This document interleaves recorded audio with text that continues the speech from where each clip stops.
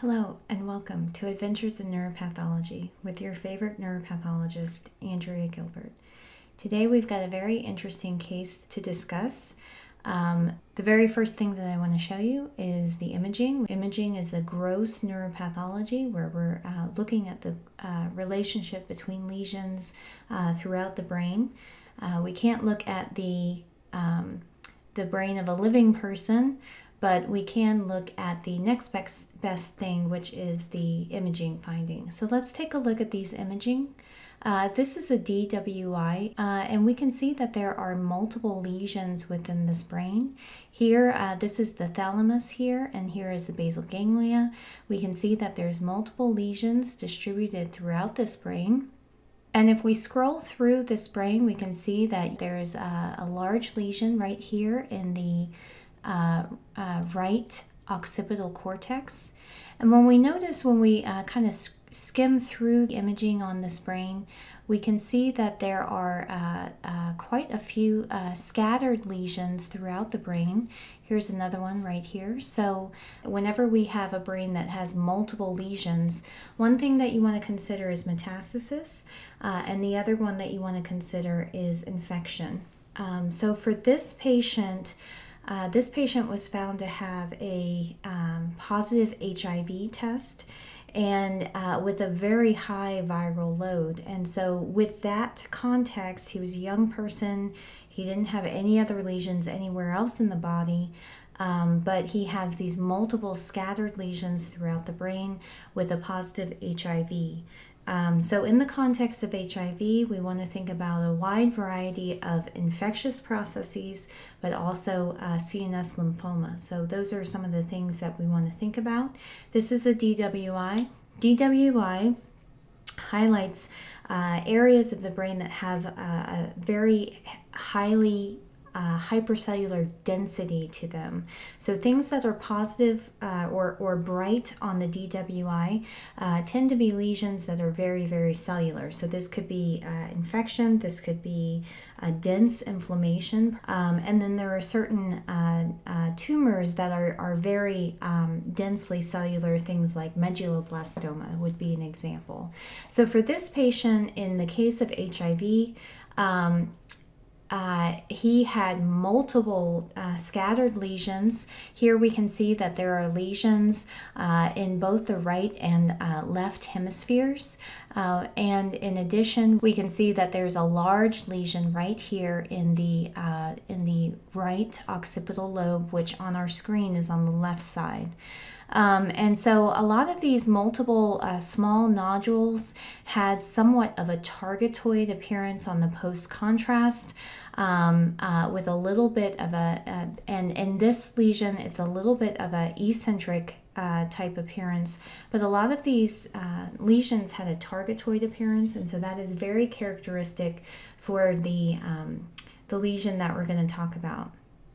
So let's take a look at the pathology. Uh, for this patient, uh, he was very symptomatic and he had a lot of symptoms that were associated with this uh, lesion. Uh, here in the right occipital lobe. So um, the the surgeon went in to get a definitive biopsy. Again, if this was a CNS lymphoma, uh, that treatment is going to be very different from uh, if this is an infectious process. Um, and so the surgeon went in and did a biopsy just to make sure that we know exactly what we're dealing with. So let's take a look at the path. All right, so this is a low power view, uh, and there were large areas of necrosis and an, an infarction type pattern. Um, in the top left corner of the screen and the top right corner of the screen, we can see that there's a lot of inflammation, and this is a higher power view of that. Uh, there's a lot of uh, neutrophils, lymph, uh, lymphocytes, um, uh, macrophages, plasma cells. Um, in the less involved areas of the brain, there were uh, there was a lot of proliferative activity. So we've got um, mitoses here. This is a, a, typical mitosis, and then this is a granular mitosis. The the blood vessels were very interesting though. Um, and so this is a vasculitis where you can see that there's uh, inflammation uh, involving the, the blood vessels. But then as we start to uh, look around a little bit more, there are these, um, this is a little bit of a higher power view, but this is a microglial nodule here. And then we can see more microglial nodules here. Um, and if, if you look really closely, you can start to see that there are these little dots here, and little dots here, and little dots here, and little dots here. Um, and and, and I'll go back through some of the pictures that I just showed you and there are a lot of these little dot looking guys that if you weren't looking for them you could just kind of glance right over them and these are uh, these are very morphologically compatible with tachyzoites uh, I didn't see any bradyzoites. This actually is a great one right here. I didn't see any bradyzoites, uh, which is kind of more like the encysted form. Um, uh, that's kind of the more dormant form. So this is a very active infection where all we have are uh, these morphologic findings of, of tachyzoites. This is the uh, this is the patient's result. All of these brown um, little dots here are tachyzoites and and uh, uh, and the Toxoplasma gondii organism. So this is a very very active inflammation. Usually when you see toxo it's, it's usually like maybe one or two positive in, in, in a high power field. But this is many many many in a low power field. So this is a very um, uh, um, exuberant uh, infectious process Okay, so now I would like to go through with you uh, the appearance of this toxoplasmosis on immunohistochemistry. Um, so this is a example of immunohistochemistry that we can see right here.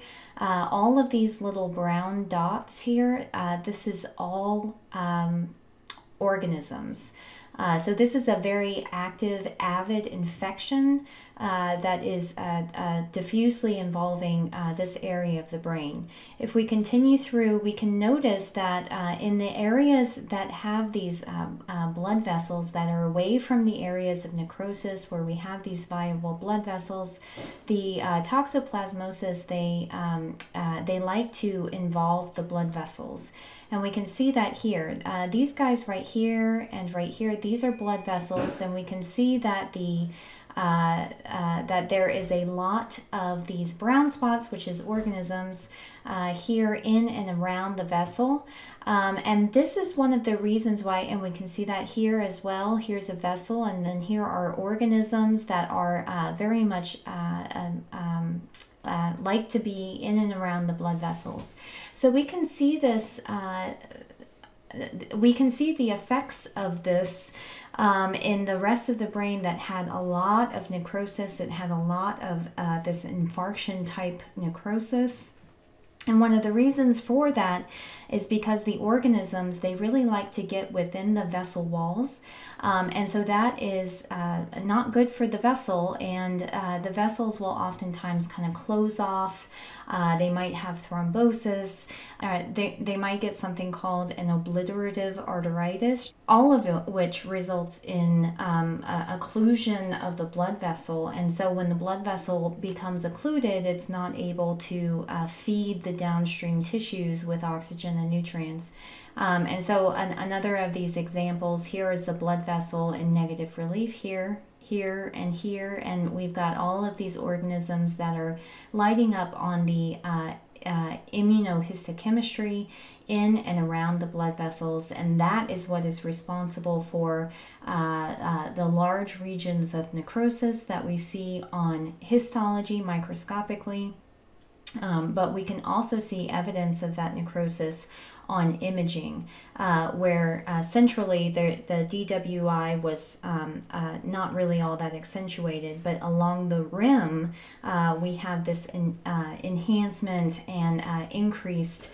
Um, uh, signal on the DWI, and that is associated with the inflammation of the organisms surrounding this area of central necrosis, which is caused by the uh, the, the vasculitis and the endarteritis obliterans. Okay, so that is our whirlwind tour of the imaging and the pathology of toxoplasmosis. Uh, toxoplasmosis is a parasite where the definitive host is the cat. uh, and people can become infected by handling cat litter. Toxoplasmosis is one of the torch infections, and I have a uh, video on torch infections, so be sure to check that out. Uh, toxoplasmosis is one of the torch infections, uh, and those are infections that um, that affect babies within the womb. And so, if a baby within the womb gets toxoplasmosis, it causes some serious damage. Um, but adults with uh, certain immunosuppressive diseases or immunocompromised diseases, uh, they can also get toxoplasmosis.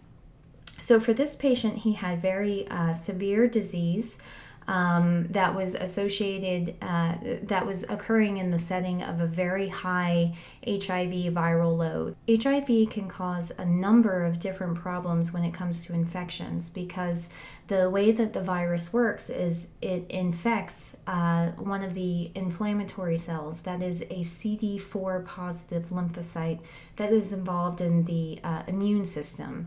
So basically, the way that the virus works is it, it, it inhibits your immune system from responding from uh, uh responding to uh, the usual infectious insults that you come across on a day to day basis. Um, and so uh, these patients will oftentimes have some significant issues with infectious disease, toxoplasmosis being one of them.